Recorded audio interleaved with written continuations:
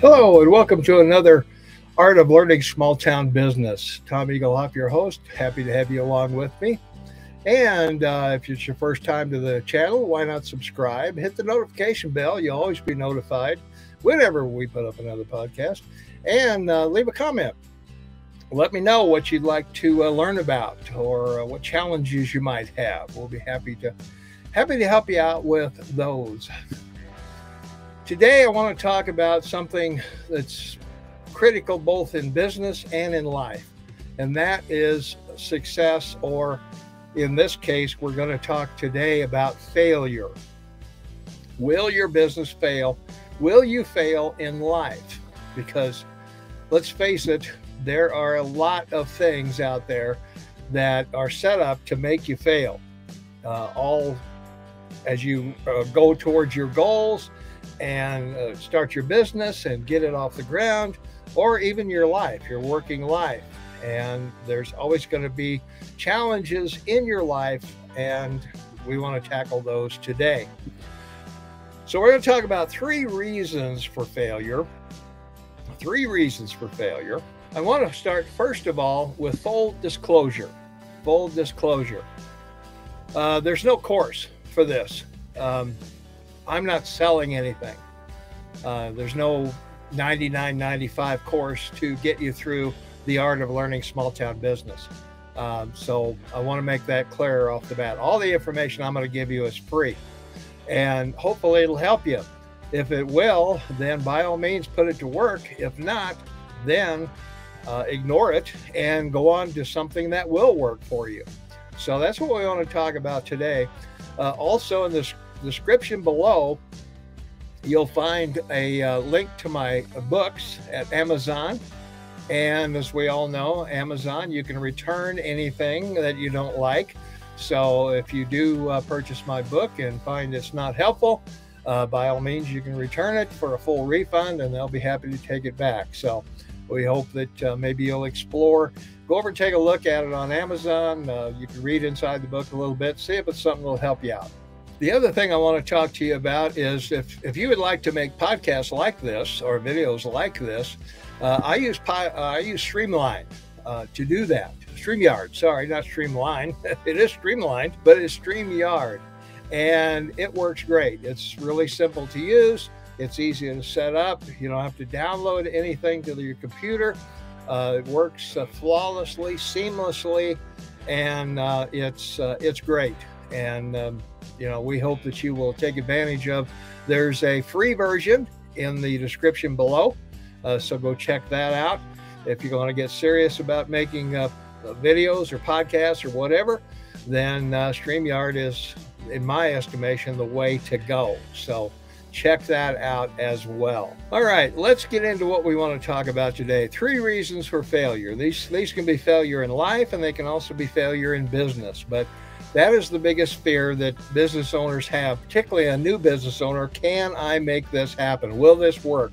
Will my idea uh, have legs? So, can I make a living doing this? And that's the question that plagues most new business owners and actually derails them from the very beginning of their very starting point. Uh, they don't even get in the starting blocks because the, the fear of failure is so pronounced that uh, you know there's an old saying fear of loss is more is is more powerful than expectation of gain. So staying where you are is comfortable. Moving out of your comfort zone that's an issue. And that's what we want to talk about today and the first thing we want to talk about is something i call forced discipline what is forced discipline well if you think about it we're, we're almost programmed uh, to fail both in life and business because of forced discipline. And what that means is that from the time we're born until the time we become an adult, all of our decisions are made for us by someone. You know, our parents make our decisions, teachers make our decisions, uh, a boss, or if you're in the military, you know, all these decisions are made by someone else. Now, you make minor ones, of course, but things to do with big ticket items, big money, things like that, uh, those are always made by someone else, someone in authority, someone over you. So when the time comes for the that new business owner to take that that uh, or put that business hat on, and you're the principal decision maker, and whatever you do can affect your business very negatively, not only today or next week, but five years from now. That's a big responsibility, and a lot of folks uh, aren't up to it. So that's why we want to talk about it today.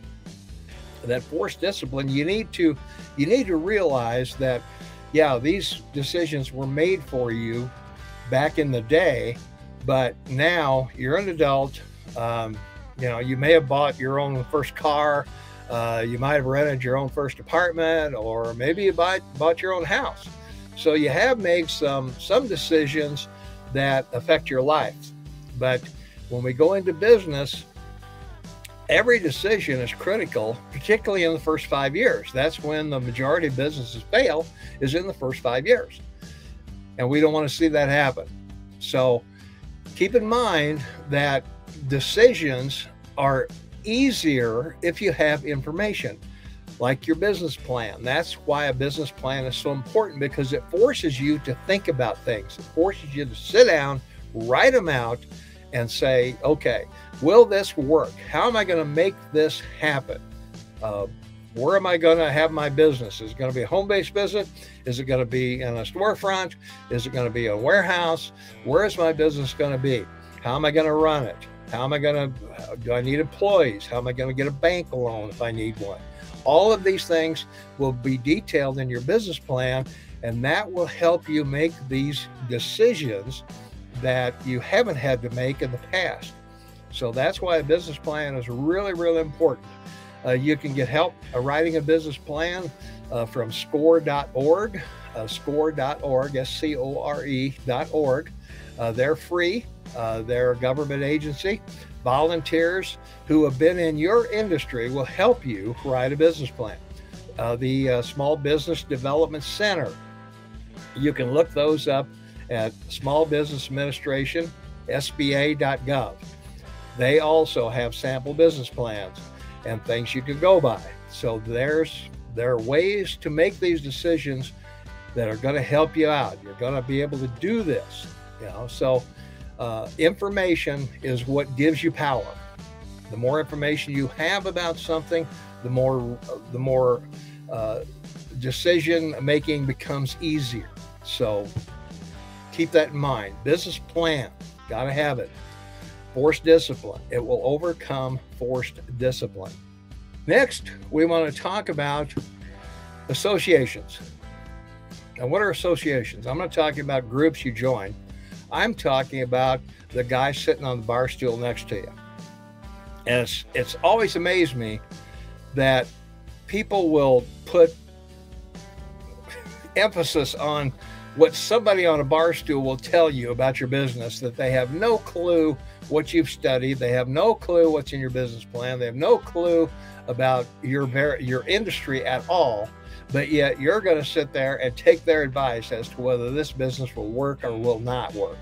So don't do that. Um, if if I want to learn to play golf, I'm not going to ask a bowler or a tennis player how to play golf. I'm going to go seek out someone who knows how to play golf. Never ever ask information from anyone who's not qualified to give it to you person who's giving you the information has to be qualified to do it. They have to have been in your industry. They have to have some knowledge of what you want to do.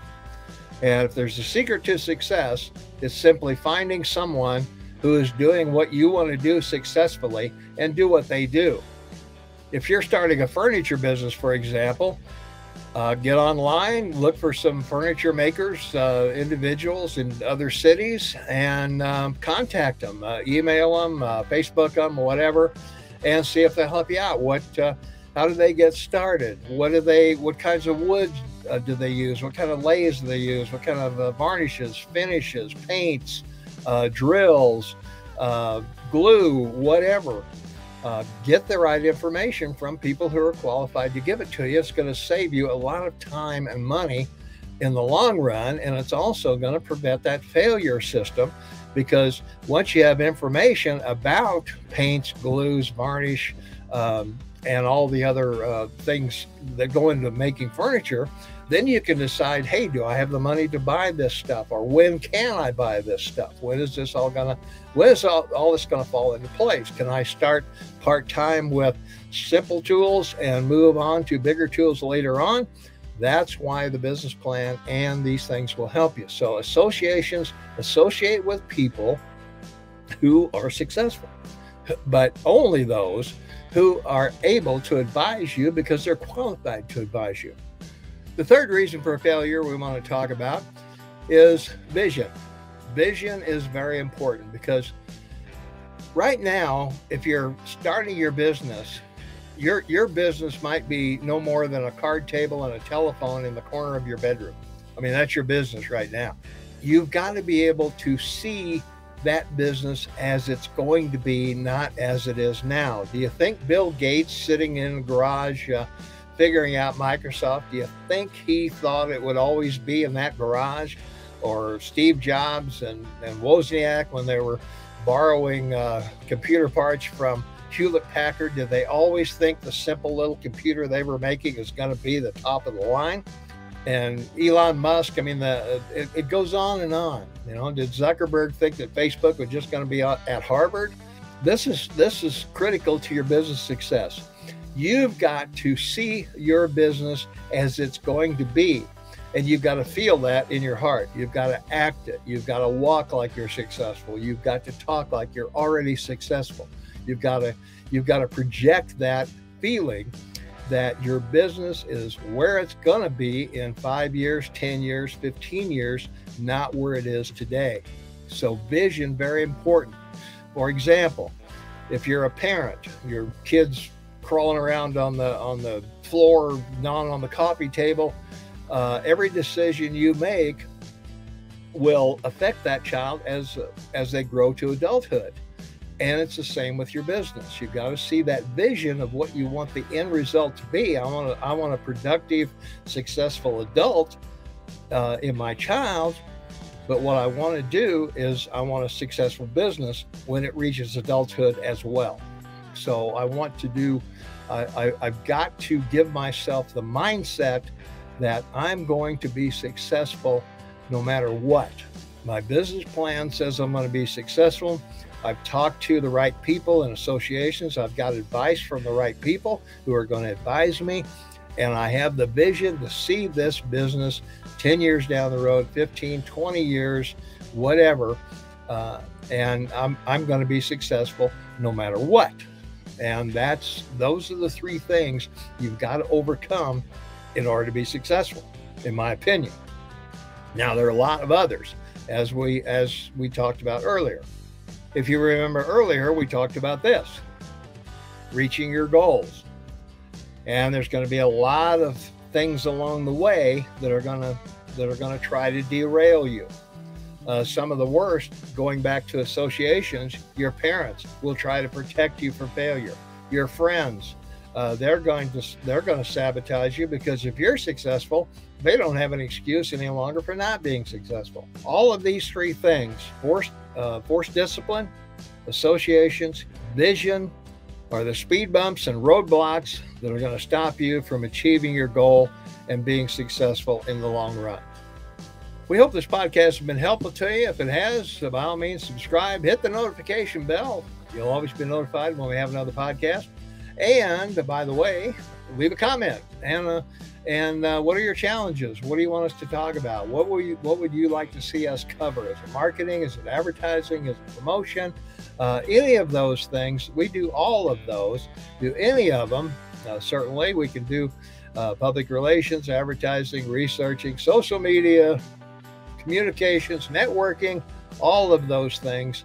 And we'll be happy to help you out with any of those things. So, we uh, again hope you enjoyed the podcast and uh, don't forget to subscribe, like us, and we'll see you on the next podcast.